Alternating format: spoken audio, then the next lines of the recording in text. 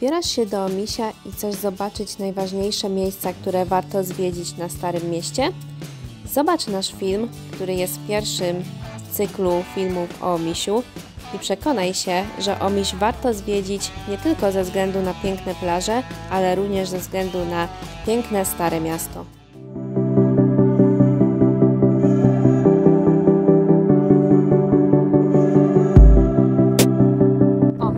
Jedno z najpiękniejszych miast Dalmacji. Znajduje się tylko 20 km na południe od Splitu i nazywane jest miastem piratów.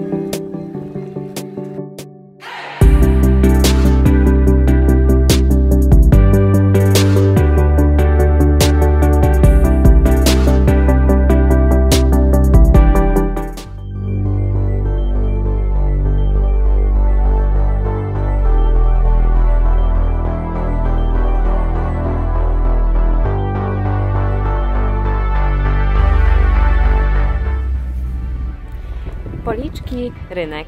Niegdyś to miejsce służyło do głównego handlu ziarnem i targów. Ten reprezentatywny wygląd został uporządkowany w 1811 roku podczas regulacji brzegu rzeki. Za mną widzicie kolumnę, która służyła do zawieszenia flagi. A oto miejsce służyło również do ogłaszania rozkazów i publicznego karania drobnych przestępstw.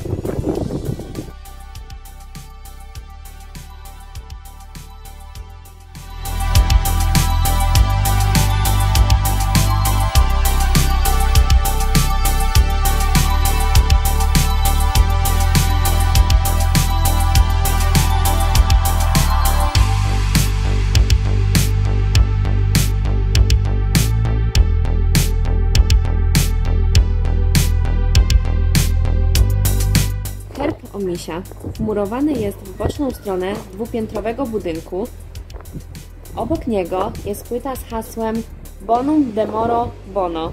Dobro pochodzi z czystego dobra.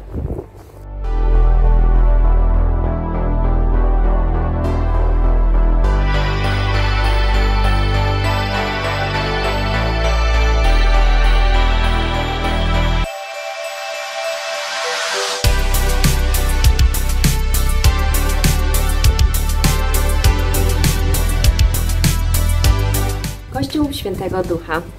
Został zbudowany na miejscu starego gotyckiego kościoła i odnowiony w 1585 roku. Znajduje się w centrum starego miasta Omisia, blisko jego herbu.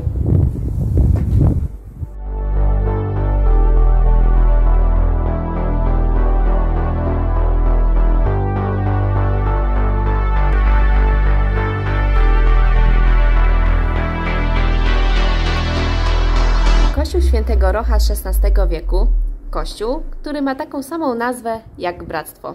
W środku, w ołtarzu, znajduje się obraz świętego Rocha i Sebastiana, którzy są patronami chroniącymi od dżumy, a dżuma często zagrażała Omisiowi.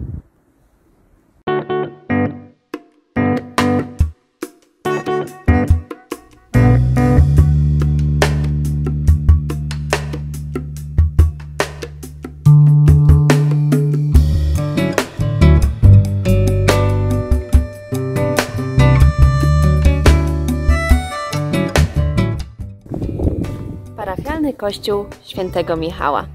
Łączy w sobie cechy stylowe gotyku, renesansu i wczesnego baroku. W kościele dominuje luksusowy portal kamienny warsztatu braćkiej rodziny Bokanicz, okienna róża, statua świętego Michała i herb Omisia.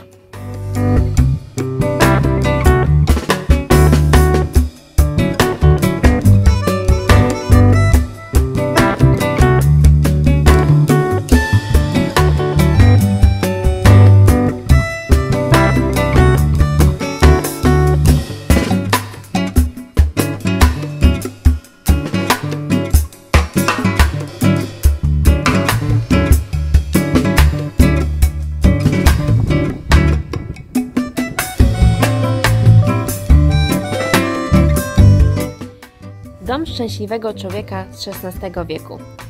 Spacerując po licznych ulicach Omisia, prawie na każdym kroku można natknąć się na interesujący budynek bądź dom. Jeden z nich jest szczególny. Jest to dom szczęśliwego człowieka. Niewiele budynków na świecie może się poszczycić takim mianem. Jego nazwa pochodzi od napisu nad drzwiami wejściowymi, na którym w tłumaczeniu łaciny pisze Dziękuję Ci Panie, że byłem na tym świecie. Przypuszcza się, że to był dom prawnika Iwana Primojewicza, adwokata i ambasadora omiśkiej komuny Wenecji. Niestety, dzisiaj nie wiemy dużo o pierwotnym właścicielu tego domu, w którym mieszkał, ale został zachowany przez wiele wieków. Dzisiaj jest najpiękniejszym przykładem klasycznej dalmatyńskiej architektury z okresu weneckiego. Dom szczęśliwego człowieka został zbudowany tak, że na parterze znajduje się warsztat i pokój dzienny. Na pierwszym piętrze sypialnie, a na drugim i najwyższym piętrze jest kuchnia. Ten typ projektowania wnętrz od wielu lat zadziwiał historyków, aż wreszcie zrozumieli, dlaczego dawni architekci rozmieścili wnętrze w taki sposób. W średniowieczu dużo omiszki domów ulegało zniszczeniu przez pożar. Jak to jest dobrze znane, ogień w domach z reguły można rozpruszyć w kuchni. Domy, gdzie kuchnia była umieszczana na, na niższych piętrach, podczas pożaru najczęściej zostały spalone doszczętnie. Z czasem omiszanie zrozumieli, że, zrozumieli, że podnosząc kuchnię na najwyższe piętro, zmniejszają szkody spowodowane przez pożar i wkrótce ten sposób budownictwa stał się standardem. Dom szczęśliwego człowieka jest jednym z pierwszych w Omisiu, który został zbudowany w ten innowacyjny na te czasy sposób. Kto wie, może dlatego właśnie jest nazywanym domem szczęśliwego człowieka.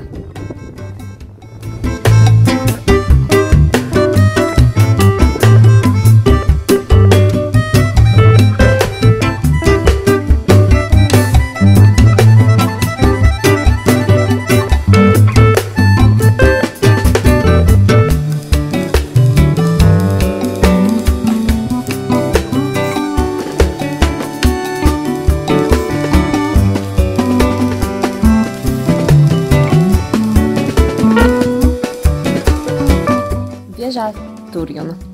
Kątowa, kwadratowa wieża lądowa pozostała po rozbiórce i renowacji części południowo-wschodnich murów miejskich.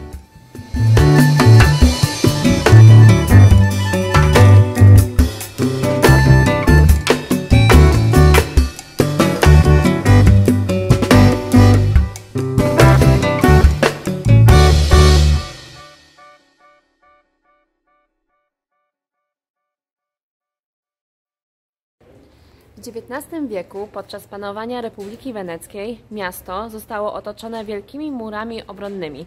Stąd ludzie nie mieli gdzie budować budynków i dlatego powstały te małe uliczki i małe place.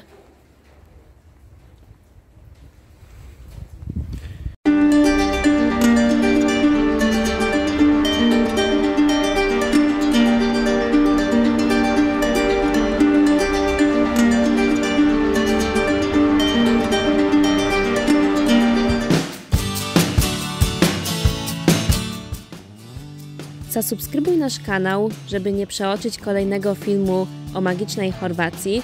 Zostaw łapkę w górę i skomentuj ten film, jeżeli Ci się podobało.